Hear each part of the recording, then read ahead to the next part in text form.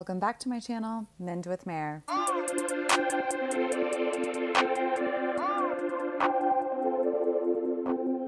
All right, you all, as you can hear in my voice, I am on the struggle bus for sure. So I am filming from my childhood bed. As you can hear, there's chaos in the background. I don't know if you all are also dealing with this, but being back home and staying at my parents' house for the holidays is chaotic to say the least. It feels like negative 21 here. I walked out for two seconds yesterday. The wind hit my throat and I just, it's been really tough. However, even though this doesn't look professional, I, I saw somebody comment on the interview of John Mayer on, on the podcast, Call Her Daddy. And someone said, Oh, you got to check that out. I would love to hear your thoughts on it. There's some covert narcissism going on there.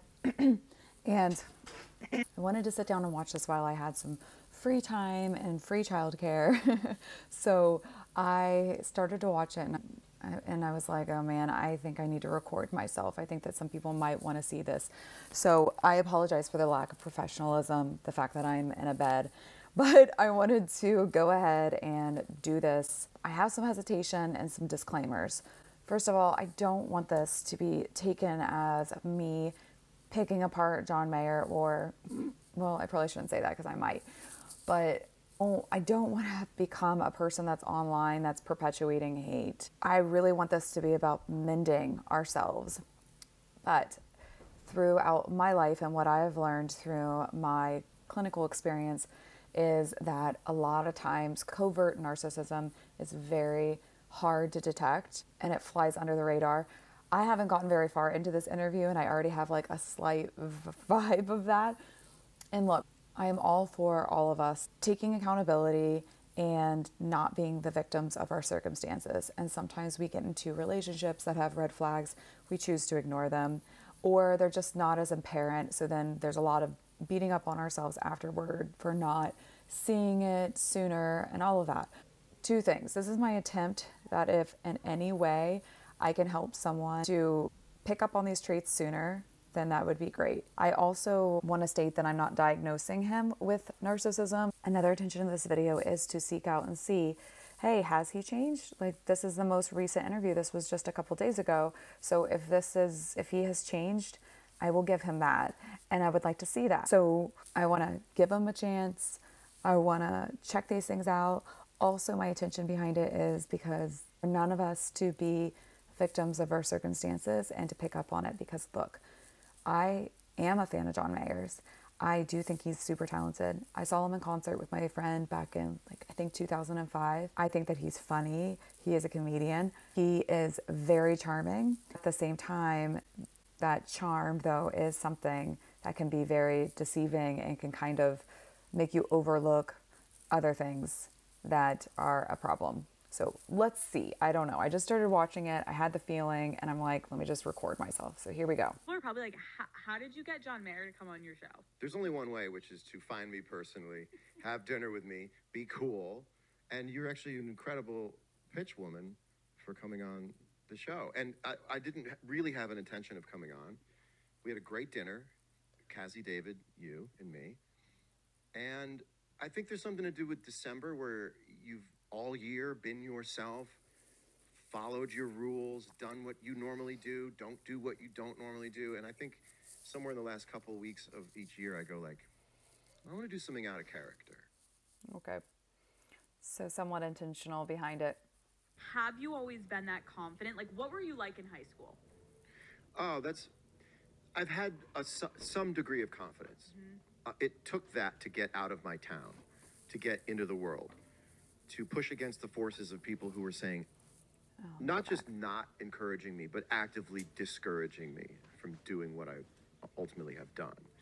And so the quality of that confidence has changed from like a beat down every door, push yourself on people as much as you can all the time to something um, way more relaxed. Mm-hmm. So everyone, when they first start out, is way more confident than they, than they need to be because they don't know how confident they need to be, right? Oh, interesting. And so it was kind of obnoxious when I was younger.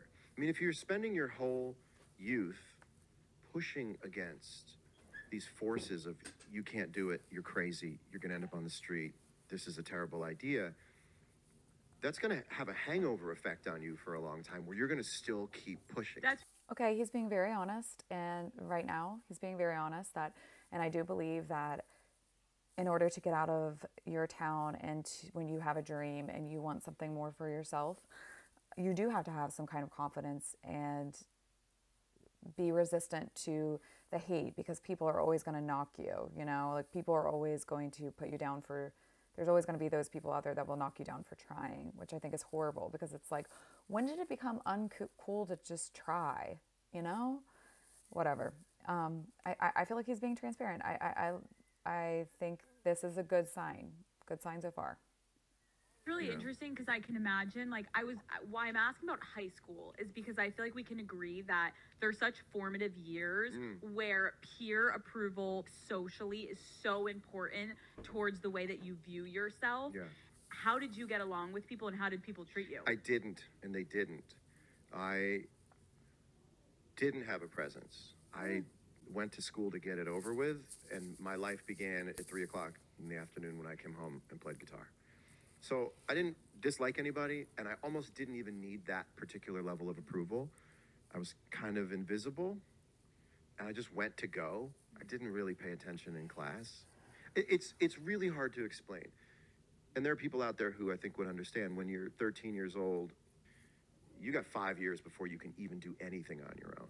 And those are, that was the hardest part of my entire life was from 13 to getting out of high school because you already know what you know and you have to go through the rest of What? this kind of rote plan that's been set for everyone. And I remember sitting in class going like, I'm not supposed to be You're- here. So you're saying you knew what you wanted to do. You knew you were going to be a musician. You're like, why am I in social studies? Like, what the fuck am I doing here? Did people bully you? Like, were you the like dorky musician or no? I was bullied a little bit, but I was al- always kind of big. I was tall. Okay. I remember getting um, punched in the arm for flinching. I don't know if you've if that's still a thing. This is the most butch your show has ever been. I'm talking to I love it. talking to you about. Christmas special. Were okay. Did you date in high school? I had one girlfriend in high school, but I didn't really date. I had one girlfriend in high school. What were you like in like uh? What was John like in high school dating? Probably the best version I ever was of myself. I would like to think that was the best version, and the next time is the best version. Okay. He's being honest. Okay. Okay. He's being honest. He's being honest. Sorry. but if in high school that was the best version of himself, I feel as if, Reese, I feel as if high school was not the best version of myself. And I'm just, and for a lot of us, because we're just figuring out who we are. And I am a little, I got a lot of thoughts on that, you know, that if that was the best version of himself before he was, um, well, before I, I, I say all of my thoughts, I would like to listen some more, but that is really surprising that he's, that he's able to say that his, the best version of himself was in high school. Um, you know, there's so many people that get stuck in those high school years. They reminisce about that, like that was their high time. And he's not doing that. But when it comes to dating, he's saying that was his best self. He was a teen. Okay. Let's keep going. I only had one girlfriend before everything changed in my life. To me, like the truest, most innocent, realist, like sweetest. It was high school. Did you ever, through your fame, wonder if you should reach back out? I to did her? re- I did reach back out a few times. Because you were looking for what? Mm, uh, maybe to bring that part of my life into the new part of my life. But by that point, she was married and had kids, and I thought that's a separate chapter, or, or, or that thing in my life was a separate chapter. I don't have to talk to people to know that I'm, I'm okay, that we're okay. Yeah. I think that's telepathic. I liked you said that at dinner. Um, just something about like there's certain people in your life that you don't need to be in their Yeah. life anymore, but it's really cool when you have a mutual understanding, whether it's an ex, whether it's someone that was your friend at some point, Yep. to just be like, we don't need to talk to know like we're good. We're all right. We don't talk anymore. Yep. For- I'm glad that he didn't keep reaching out to her. She's married with children. So, yes, John, even though it was a couple times, it sounds like I'm glad that he stopped. Whatever reason, but like.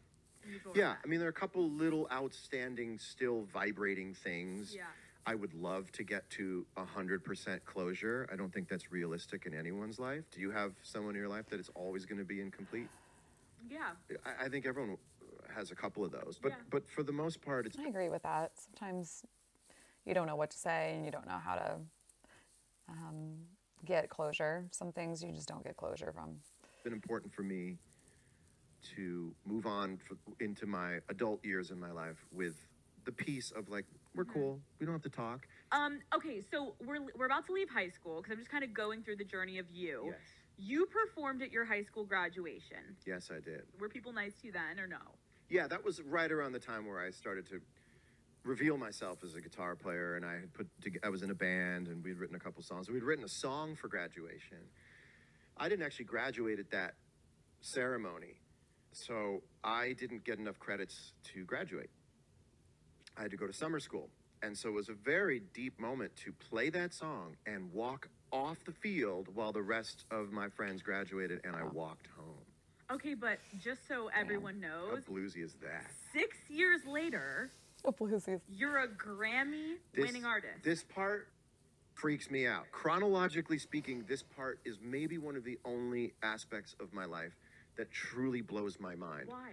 Because it's such a short period of time that felt longer to me.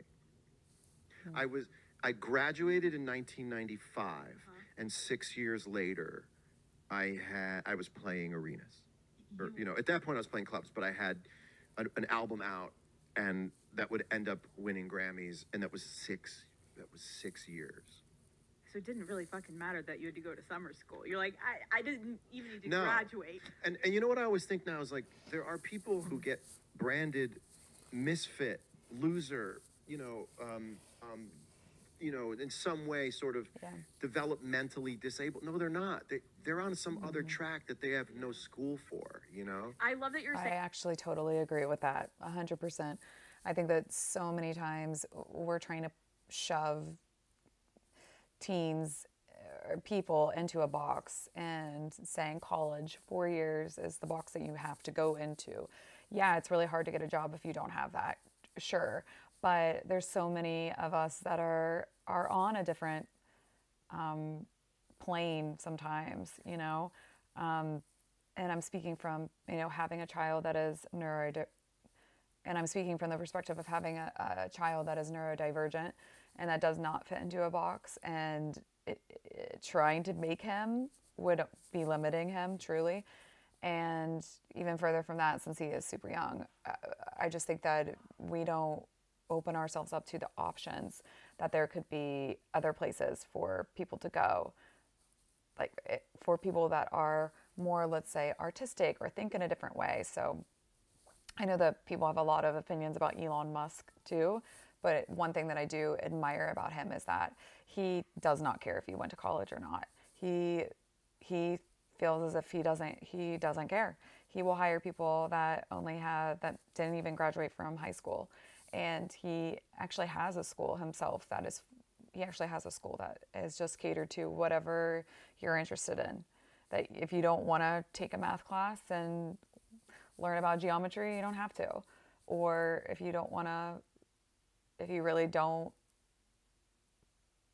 if you're really bad at, at reading and writing that's okay. Stay on the math track or vice versa. Let's say that you're horrible at math and you're really great in other creative ways then you lean into that. Um, i mean this isn't a new I just totally agree with with John here that you know there's so many different parts of ourselves that there's so many different people that have a lot more that almost are more limited by following the track of college than leaning into what's actually meant for them or for all of us as a society to be a little bit more open to the different possibilities and that if somebody doesn't go to college, they're not a failure. Maybe they actually know better because they know themselves. And I wish that we were a little bit more open to the different ways of thinking or different ways of being that could end up being right for the human, not just right for perceived as the right path because everybody else is doing it, but maybe and the that right too path because for it goes them is back to something what you that's said of like. I was sitting in that class and I knew I wasn't supposed to be there, but I had to be I was there. writing lyrics. It's interesting to hear you say like it's so crazy to me that six years Mhm. after I graduate college, I'm winning a Grammy for Your Body Is a Wonderland. Yeah. You were dating someone at the time that you're writing this iconic song, which No, I wasn't. You weren't? No, that was about my first girlfriend. Wait, That was what? about the feeling, which I think was already sort of nostalgic. I was uh-huh. 21 when I wrote that song, and I was nostalgic for mm-hmm. being 16. I thought it was about a different. No, that's that's one of those things mm-hmm. where people just sort of form that idea. It gets reinforced over the years. No, no, no. I had never met a celebrity when I wrote that song. Wait, and think. did your high school girlfriend know you wrote that about her? That's a good question. Maybe maybe she didn't. Maybe she didn't. To this day? To this day, maybe she didn't. Yeah. So if you were my high, my one and only high school girlfriend, that was actually about you. And this happens a lot with songs, right? So I've made a rule. I guess I mm-hmm. always had a rule that I would never tell anyone. What's and I don't I don't write songs about people. I don't write them for people or about people. I might use a relationship that inspires me to write something. So yeah, even if I was writing a song because of someone, it's like that goes away and I'm left with the song. So I don't like that. He's wanting to put the statement out there. I do not write songs about people or for people. I write them as inspiration from the relationship. Mm, It's, I guess, not exactly the same, but kind of the same. But skillfully making it sound. Sometimes there's this tactic of confusing people, like totally negating the what it could be about. He's totally negating the the statement, but at the same time he's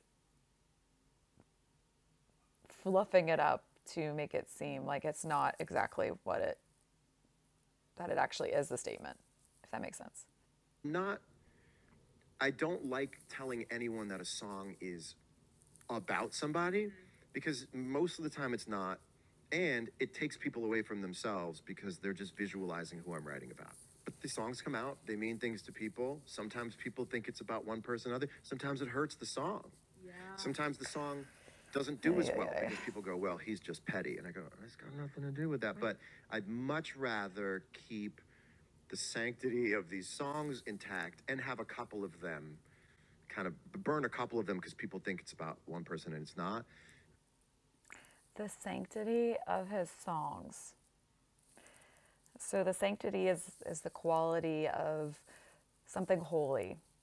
And it seems as if he's looking at his his songs as the most important thing to him.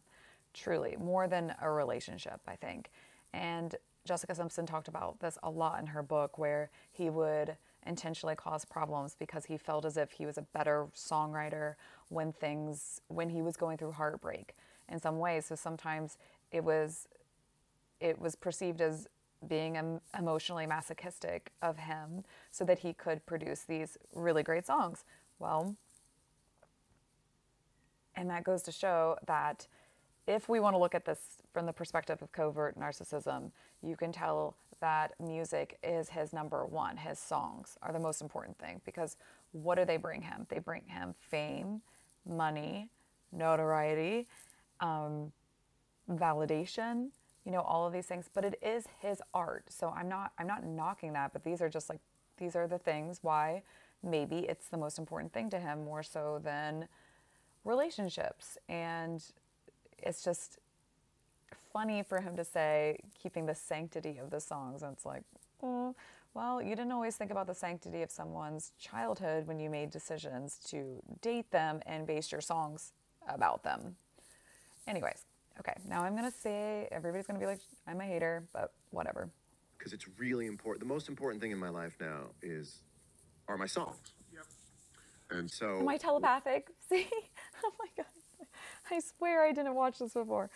Um, yeah, they are his babies. They're the most important thing to him because it is his art, but I do think that he holds them above his own relationships and connection with people. And I'm and I, I'm not saying that that's good or bad, but it's just that's his number one. Um, that can that can be problematic, but okay. when I go play songs now, I'm playing songs that I see people in the crowd are reliving their life. It ain't about anyone but the people I'm singing to. It's now about their college years. It's about their sick family member who died. It's about their fight with cancer and how they beat it. It's Sure, that's what I do. I interpret these songs, and at the basis of it, it is, you know, I, I have a biased perspective because it's coming from the life that I've lived. However, he's he's he is saying that everybody else, you know, takes these songs on to become theirs.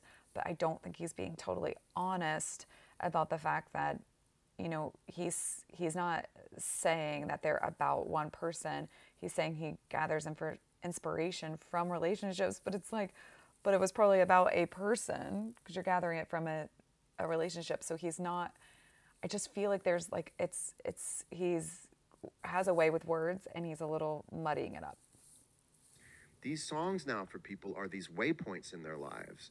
It's not about any one person. You know, the first three three records of my life was just like proving, proving, and you should. And then you start hearing people tell you, uh, "Thank you, your music got me through a dark time." That's so much deeper. I mean, I definitely think everyone should have those prove it years and enjoy them. Yeah. because I definitely did. Like, now do you see? now do you see? And I had a lot of that. I had a lot that I had to get out Yeah. when I first started, and it was obnoxious um, to them, and I get it. And I think it explains a lot of younger people who have just hit the scene, who you're like, this person is fucking obnoxious. I have a lot of grace for it because I you never know how hard someone had to punch to get out of their town Yeah. or their family or a relate, you know, and and you just, I think that's where people were like, I got the douchebag title a lot, and I was trying incredibly hard but I had been trying incredibly hard since I first played the guitar to get where I needed to get. I couldn't get the message like, John, they like you just fine. You can calm down. They like you just fine. That's a good. That's good. Good. Good that he's acknowledging that. I'll, I give him that another point for for John Mayer. yeah. You know? I really appreciate you explaining it that way because I I now too have a different opinion, especially maybe in the music industry or, you know, actors and actresses. Like the way that maybe people are being perceived online and the way they're acting probably is really not who they are. It's they're trying to elevate to get the attention, to get the approval. That has so much to do. That is so. That has a lot to do with you're on your own kid and mastermind. What Alex is saying right now. So I agree. And eventually as you see people in their careers and this is you don't even have to be famous to have this Yep. you can be doing it at your job you can be doing it Yep. socially you're trying to make a name for yourself you're trying to have a presence and it probably feels inauthentic but you want to be seen you want to be heard you want to feel accepted and that can lead to you feeling like what am i even being myself right now Yes. so i respect that That's, thank you. I mean, that's what everyone goes through. Yeah. Everyone, by the time they grow up, have grace for other people on the way up as they fight through those mm-hmm. things. The people who are the most vicious are the people who have yet to ask for grace because they don't need it yet. Mm. Because they still have this view of the world like they're in total control and they're going to make all the right decisions for the rest of their lives until they don't. Mm-hmm. And, and and I feel like that's just something everyone passes through. what do you cherish the most about the rise of your career Oh, that's a great question. The rise or where I am now? I'll tell you, the, I'll answer both. Okay. The rise is that it was during a really cool mm-hmm. time. She said the rise, John. That's what she asked. I, it's interesting. He's like, the rise or where I am now. It's what he wants to actually talk about is where he is now. But okay,